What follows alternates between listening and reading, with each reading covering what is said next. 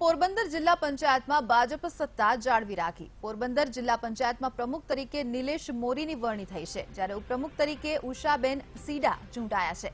કોંગ્રેસ ઉમેદવારી ન નોંધાવતા પ્રમુખ અને ઉપપ્રમુખની બિનહરીફ વરણી કરવામાં આવી.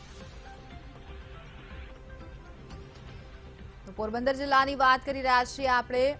ભાજપે પોતાની સત્તા જાળવી રાખી છે. નિલેશ મોરી પ્રમુખ તરીકે તો ઉષાબેન સીડા ઉપપ્રમુખ તરીકે વરણી પામ્યા છે. બિનહરીફ અહીં વરણી કરવામાં આવી છે પ્રમુખ અને ઉપપ્રમુખની પોરબંદર જિલ્લામાં.